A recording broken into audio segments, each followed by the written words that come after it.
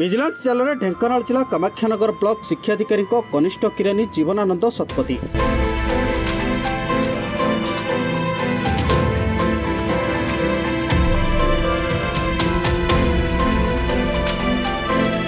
Kamakhyanagar block ପନ୍ତି ଓକାଟେଣି ସ୍ଥିତ ସିଦ୍ଧାଶ୍ରମ ବିଦ୍ୟାପୀଠର ପ୍ରଧାନ ଶିକ୍ଷକ ଗୋଲକ ବିହାରୀ ନାୟକଙ୍କଠାରୁ ବିଦ୍ୟାଳୟର ଏରିୟର ବିଲ୍ କରାଇଦେବା ପାଇଁ ଦଶ ହଜାର ଟଙ୍କା ଲାଞ୍ଚ ନେଉଥିବା ବେଳେ ଭିଜିଲାନ୍ସ ହାତରେ ଧରାପଡ଼ିଛନ୍ତି ଅନୁଗୁଳ ଜିଲ୍ଲା ଭିଜିଲାନ୍ସ ଟିମ୍ ଏହି କନିଷ୍ଠ କିରାଣୀକୁ ଧରିବାରେ ସଫଳ ହୋଇଛନ୍ତି। ସେପରି ଗତ ମାସ ଛଅ ତାରିଖ ଦିନ ଭୁବନ ବ୍ଲକ ଶିକ୍ଷାଧିକାରୀଙ୍କ କାର୍ଯ୍ୟାଳୟର ବରିଷ୍ଠ କିରାନୀ ମହାଶୟ ଜଣେ ଶିକ୍ଷୟିତ୍ରୀଙ୍କର ମେଡିକାଲ ବିଲ୍ କରାଇଦେବା ପାଇଁ ଲାଞ୍ଚ ନେଉଥିବା ବେଳେ ଭିଜିଲାନ୍ସ ହାତରେ ଧରାପଡ଼ିଥିଲେ ବାରମ୍ବାର ବ୍ଲକ ଶିକ୍ଷା ବିଭାଗର କିରାନୀମାନେ ଲାଞ୍ଚ ନେଇ ଧରାପଡ଼ୁଥିବା ଘଟଣା ଶିକ୍ଷା ବ୍ୟବସ୍ଥାର ଖସଡ଼ାର ଦୁର୍ବଳତାକୁ ସାମ୍ନାକୁ ଆଣୁଛନ୍ତି ଏଥିପ୍ରତି ଶିକ୍ଷା ବିଭାଗ ଦୃଷ୍ଟି ଦେବାକୁ ଏବେ ଦାବି ହେଉଛି ବ୍ୟୁରୋ ରିପୋର୍ଟ ସକାଳ ଖବର